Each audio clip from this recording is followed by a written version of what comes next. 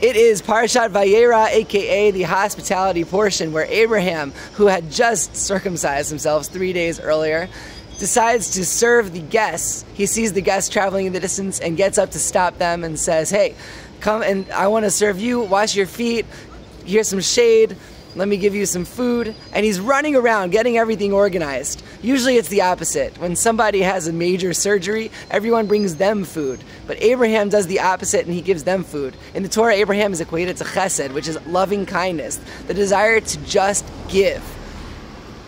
That is contrasted with later on when we see Sodom and Gomorrah destroyed. Sodom and Gomorrah were cities where it was everything was about yourself. It was the opposite of Abraham's way of life. It was all about receiving. It was a black hole society and it was all about you. There's a story of a person who's going around and he sees two castles. He goes into the first and he sees an unbelievable amount of untouched food. He notices that all the people there look like skeletons and he's so confused. Why are they so skinny when there's so much food available? And he notices that their hands are planked and they can't reach their mouths so they can't get the food to their mouths. He continues walking and he sees another castle. So he goes in and he sees the same amount of food in there, but this time it's being eaten. But he sees that the people have the same problem. Their arms are stick straight. How are they eating? And he notices that here they're eating by feeding each other.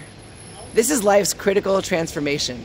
Life's critical transformation is going from a closed fist, I need you, I need help, to an open hand a hand of giving, to go from Sodom to Abraham, to go from a receiver to a giver. That's what Vayeira is all about, and that's today's adventure principle. Life's key transformation is going from a receiver to a giver. Shabbat Shalom.